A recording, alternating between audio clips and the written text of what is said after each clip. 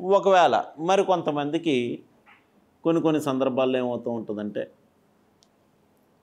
హస్త లక్షణాలు బాగున్నప్పటికీ కూడా హస్త లక్షణాలు బాగుండి ఈ రేఖ కూడా బాగున్నప్పటికీ కూడా కొన్ని దీనిని పాలన రేఖలు అని చెప్పబడుతుంది. అంటే ఏంటి? ధనరేఖ చాలామందికి ధనరేఖ మాకు చాలా బాగుందండి. అయినప్పటికీ కూడా మాకు తగినటువంటి మీరు చెప్పినట్లుగా తగినటువంటి ఆర్థిక పరిస్థితి అనేటువంటిది ఆర్థిక స్థితిగతులు అనేటువంటివి లేవండి. మరి దానికి సంబంధించినటువంటి విషయాలు ఏ విధంగా చూడాలి అని కనుక మనం చూసినట్లయితే ఈ ర్యాక్ ఎప్పుడైతే ఖచ్చితంగా బాగుండి ఈ ర్యాక్ని కట్ చేసేటువంటి రేఖలు ఏవైతే ఉన్నాయో ఉదాహరణకి ఈ కుజస్థానం నుంచి ఒక రేఖ దీన్ని ఈ యొక్క భాగ్యరేఖని లేక అదృష్ట రేఖని కట్ చేస్తూ ఉందో వీరికి కుజుడు శత్రు రోగ రుణకారకుడు కాబట్టి అలాగే ఈ యొక్క కుజుడు సోదరులకి కారకుడు కాబట్టి ఈ యొక్క సోదర మూలకంగా కానీ అలాగే శత్రు రుణ మూలకాలుగా రుణ మూలకంగా కానీ ఇతన ఈ స- ఎవరైతే ఉన్నారో వారు ఆర్థికపరమైనటువంటి విషయాల్లో ముఖ్యంగా ఇరవై ఎనిమిదో సంవత్సరం ఇరవై ఎనిమిదో సంవత్సరంలో ఆర్థికపరమైనటువంటి విషయాల్లో ఇబ్బందులు పడే అవకాశాలు ఉంటా ఉంటాయని మనం చెప్పవచ్చు. అంటే మనం ముందుగా చెప్పుకున్నాం. ఏమని చెప్పుకున్నాం? ఈ రేఖ ఇక్కడ ప్రారంభమై ఇక్కడ శని స్థానంలోకి నడుస్తూ ఏ విధమైనటువంటి గుణకార గుర్తులు కానీ ఏ విధంగా పాడవడం కానీ ఏ విధంగా అయినా సరే అది చెడిపోయినట్లయితే వారికి ఆర్థికపరమైనటువంటి విషయాల్లో ఒడిదుడుకులు సంభవిస్తూ ఉంటాయని మనం చెప్పుకున్నాం. అటువంటి సందర్భాల్లో ఇలా ఎప్పుడైతే కట్ చేసిందో వారికి ముఖ్యంగా రుణముల మూలకంగా లేక రుణములకు వడ్డీలు చెల్లించడం ద్వారా ఇతనికి వచ్చేటువంటి ధనం అనేటువంటిది ఖర్చు అవుతూ ఉంటుందని మనం చెప్పవచ్చు. మరి కొంతమందికి ఆర్థికపరమైనటువంటి విషయాల్లోనే ఈ ఆర్థికపరమైనటువంటి విషయాల్లో కొంతమందికి కుటుంబ సభ్యులే ఆ జాతకుల్ని మోసం చేసే అవకాశాలు ఉంటూ ఉంటాయి. అంటే కుటుంబ సభ్యులే ఆ జాతకుడిని మోసం చేసేటువంటి విషయాలు అయితే ఉంటూ ఉంటాయి. అటువంటి ఏ విధంగా ఉంటాయని కనుక మనం తెలుసుకున్నట్లయితే ఈ శుక్రస్థానం అనేటువంటిది మనకి సాముద్రిక శాస్త్రంలో కుటుంబ విషయాలు కుటుంబ సభ్యులు వారిని తెలియజేస్తూ ఉంటుంది కాబట్టి ఎప్పుడైతే శుక్రస్థానం నుంచి కొన్ని ఒక రేఖ కానీ లేకపోతే రెండు మూడు రేఖలు కానీ వచ్చి ఈ యొక్క భాగ్యరేఖని ఖండిస్తుందో ఖండించినప్పుడు ఈ ఏజే ఏదైతే ఉందో ఈ వయసు ఆ వయసులో ఈ జాతకుడు కుటుంబం మూలకంగా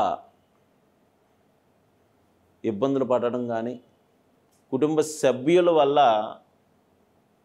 మోసగింపబడడం కానీ అలాగే శుక్రుడు స్త్రీలకి వాటికి కారకుడు కాబట్టి స్త్రీల మూలకంగా ధన నష్టాలు అనేటువంటివి సంభవించడం కానీ జరుగుతూ ఉంటుందని మనం చెప్పవచ్చు. అలాగే కొంతమంది కొంతమందికి శుక్రుడు సురాపానానికి కూడా కారకుడు కాబట్టి కొంతమందికి వ్యసనాల మూలకంగా కూడా ఈ యొక్క ఆర్థిక స్థితిగతుల్లో ఒడిదుడుకులు కూడా పడే అవకాశాలు ఉంటూ ఉంటాయి. మరి కొంతమందికి ఎలా ఉంటుందంటే స్వయం కృతాపరాధాలు అని చెప్పడం జరుగుతుంది. స్వయంకృతంగా. అంటే తన బుద్ధిపూర్వకంగా. అనగా వీరు ఎవరికైనా సరే అధిక వడ్డీ వస్తుందని ఆశపడి కానీ లేకపోతే ఈ యొక్క ఆర్థికపరమైనటువంటి విషయాల్లో సరైనటువంటి ప్రణాళికలు లేకపోవడం వల్ల కానీ అలాగే కొంతమంది స్నేహితులకి ధనం ఇచ్చి నష్టపోవడం కానీ జరుగుతూ ఉంటుంది. అటువంటి వారికి స్వయంకృతాలు ఎప్పుడైతే జీవిత రేఖ నుంచి కొన్ని పాలన రేఖలు ఈ యొక్క ఈ రేఖల్ని అంటే బుద్ధి రేఖ నుంచి రేఖలు ఖండిస్తూ కొన్ని ఖండిస్తూ ఉన్నా అలాగే జీవిత రేఖ నుంచి కొన్ని రేఖలు ఈ యొక్క స్థితిగతుల్ని ఖండిస్తూ ఉన్నా అంటే భాగ్యరేఖను ఖండిస్తూ ఉన్నా ఈ జాతకులు లేక ఈ సాముద్రికులు స్వయంకృతాపరాధాల వల్ల తన యొక్క బుద్ధిపూర్వకంగా కొన్ని ఇబ్బందులు పడుతూ ఉంటారు. అంటే ఆర్థికపరమైనటువంటి విషయాల్లో ఇబ్బందులు ఎదుర్కొంటూ ఉంటారని మనకి సాముద్రిక శాస్త్రం తెలియజేస్తూ ఉంది. అలాగే మరి కొంతమందికి. ఈ యొక్క భాగ్యరేఖ లేక అదృష్ట రేఖ ధన రేఖ అనేది మధ్యలో ఇలా గ్యాప్ ఎప్పుడైతే వచ్చిందో ఈ గ్యాప్ వస్తే కనుక ఇది వృత్తి రేఖ అని కూడా చెప్పచ్చు కొన్ని కొన్ని సందర్భాల్లో.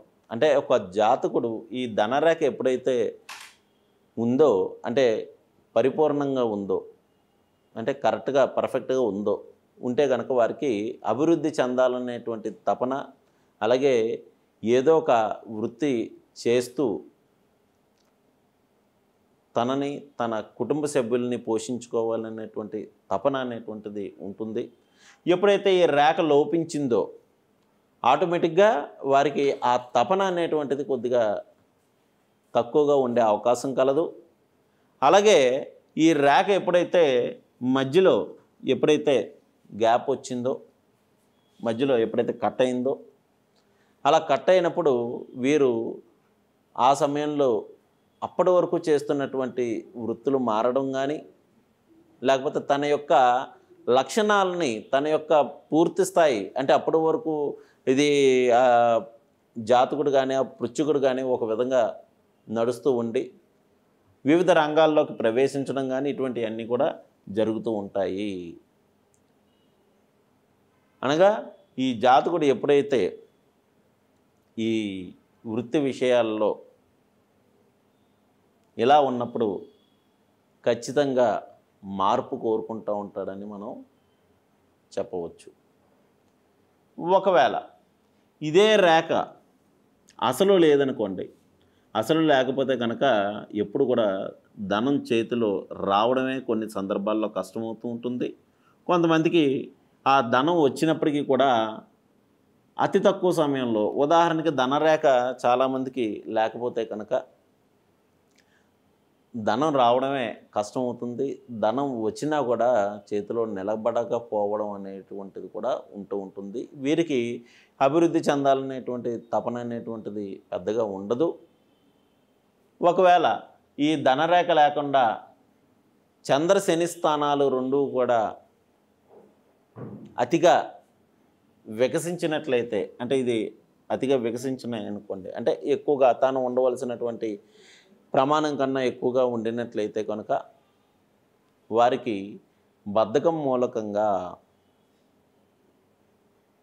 అంటే అదే సమయంలో ఏమాత్రం శిరోరేఖ పాడైనా అంటే శిరోరేఖ మన యొక్క బుద్ధి యొక్క విశేషాలను తెలియజేస్తూ ఉంటుంది కాబట్టి శిరోరేఖ పాడైనా లేకపోతే శిరోరేఖ మీద ఏమన్నా ఎటువంటి లంక గుర్తులు ఇటువంటి ఏమన్నా ఉన్నా కూడా ఏమవుతూ ఉంటుంది?